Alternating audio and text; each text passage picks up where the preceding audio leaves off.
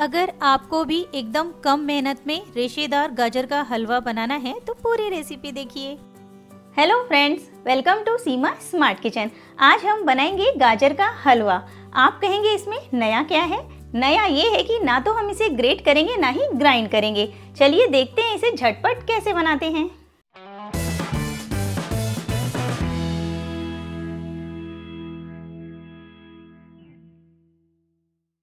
इस गाजर के हलवे के लिए हमें मोटी रेशेदार गाजर लेनी है। देखिए, गाजर इस तरह की होनी चाहिए।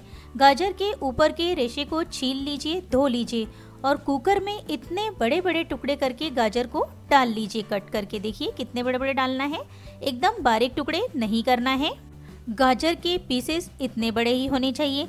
अब इसमें वन फोर्थ कप पानी डाल दीजिए। वन फोर्थ कप पानी डालने के बाद कुकर को बंद कीजिए, गैस पे चढ़ा दीजिए।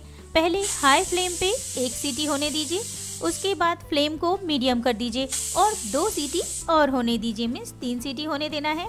उसके बाद फ्लेम बंद कर देना है और कुकर को अपने आप ठंडा होने देना है। कुकर की स्टीम अपने आप खत्म हो जाने के बाद में कुकर को खोलिए और गाजर को डाल दीजिए कढ़ाई में। जिस कढ़ाई में आपको बनाना है, उसी कढ़ाई में डाल दीजिए। अब इस कढ़ाई को चढ़ा दीजिए गैस पे, लो फ्लेम पे। साथ ही मैशर लीजिए, पोटैटो मैशर है ये, और इससे इस तरह से मैश कर लीजिए। बहुत ज़्यादा मैश नहीं करना है। गाजर रेशेदार है तो अपने आप ये ग्रेटेड गाजर जैसी हो जाएगी। देखिए, इस तरह से करना है। इस तरह से गाजर का हलवा बनाने में मेहनत भी कम लगेगी और अगर किसी को आप बताएँगे कि आपने इसे ग्रेट किया है तो उसे लगेगा ही कि इसे ग्रेट किया है, जबकि हमने इसे ग्रेट नहीं किया है। पूरी गाजर मैश हो जाने के बाद फ्लेम को मीडियम टू हाई कर दीजिए। लगातार चलाते हुए इसका पानी जो एक्स्ट्रा है, इसमें उसको सुखा लीजिए। उसके बाद में इसमें डाल दीजिए दो कप मीन्स 400 हंड्रेड दूध। और फ्लेम को हाई करके लगातार चलाते हुए थोड़ा सा दूध रिड्यूस करना है। दूध थोड़ा कम हो जाने के बाद इसमें घर की, दूध की मलाई डाल दीजिए। दूध को गर्म करने के बाद जब दूध ठंडा होता है, उसके ऊपर एक जो मोटी सी लेयर आती है, उसे ही मलाई कहते हैं। ये मेरी दो दिन की मलाई है, लगभग एक कप से थोड़ी सी कम है। इसे मिक्स कर लेंगे और डाल देंगे। आपके पास जितनी भी मलाई है, एक कप, आधा कप इसमें डाल देना है। कोई ज़रूरी नहीं है कि आपके पास इतनी ही मलाई होनी चाहिए। थोड़ी कम या ज़्यादा डाल सकते हैं। मलाई डालने के बाद फिर से फ्लेम को हाई कर देना है। लगातार चलाते हुए दूध को रिड्यूस करना है। मलाई को भी रिड्यूस करना है। हम इसमें बहुत ज़्यादा घी नहीं डालेंगे क्योंकि इसमें डाली है मलाई।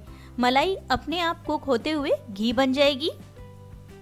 अगर गाजर के हलवे का कलर और अच्छा चाहते हैं तो इसमें आठ से दस केसर के थ्रेड भी डाल दीजिए। कुक होते होते गाजर के हलवे का केसर के साथ और भी अच्छा कलर आता है।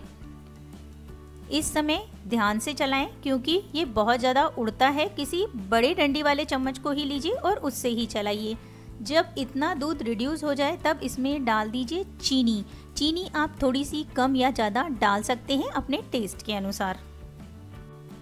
किसी भी हलवे में चीनी आखिरी में ही डालनी चाहिए। चीनी डालने के बाद फिर से इसमें एक बार थोड़ा सा पानी दिखने लगेगा। फ्लेम को आप मीडियम टू हाई करते हुए लगातार चलाते हुए मीन्स बीच बीच में चलाना है। लगातार चलाने का मतलब है कि नीचे चिपकने नहीं देना है जलने नहीं देना है। चलाते हुए थोड़ा सा ड्राई कर लेना है। जितना आपको गाजर का हलवा ड्राई चाहिए, उतना कर लीजिए। उसके बाद डाल देंगे ड्राई फ्रूट ड्राई फ्रूट आप भून के भी डाल सकते हैं और बिना भुने भी डाल सकते हैं। मैं यहाँ पे बीच में थोड़ी सी जगह बना रही हूँ और इसमें डाल रही हूँ वन टीस्पून घी। और इसमें ही डाल देंगे पहले कटे हुए बादाम। 15 से 20 सेकेंड बाद डाल देंगे कटे हुए काजू और उसके बाद डाल देंगे कटे हुए पिस्ते। आप चाहे तो वैसे भी डाल सकते हैं या फिर पहले भी फ्राई करके इसमें डाल सकते हैं। ड्राई फ्रूट्स डालने के बाद एक से डेढ़ मिनट और भून लीजिए। अगर गाजर का हलवा इधर उधर चिपक रहा है तो उसे भी साथ में निकालते जाना है और लास्ट में डाल देना है इलायची पाउडर। मिक्स कीजिए और गर्मा गर्म सर्व कीजिए गाजर का टेस्टी हलवा। आप इसे ज़रूर बनाएँ और अपने एक्सपीरियंस शेयर कीजिए। है ना ये एक आसान रेसिपी इस आसान रेसिपी के लिए लाइक तो बनता है। और कमेंट करके बताइए ये रेसिपी आपको कैसे लगी। फ्रेंड्स और फैमिली के साथ इस आसान रेसिपी को शेयर करना ना भूलें। और अगर आपने इस चैनल को अब तक सब्सक्राइब नहीं किया है न्यू अपडेट्स के लिए सब्सक्राइब कीजिए। साथ ही बेल बटन पे प्रेस कीजिए।